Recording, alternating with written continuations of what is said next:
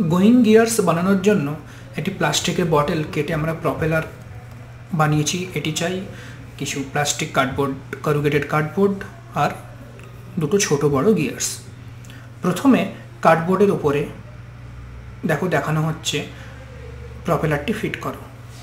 আর প্রপেলারের নিচে একটি ছোট্ট গিয়ার আছে।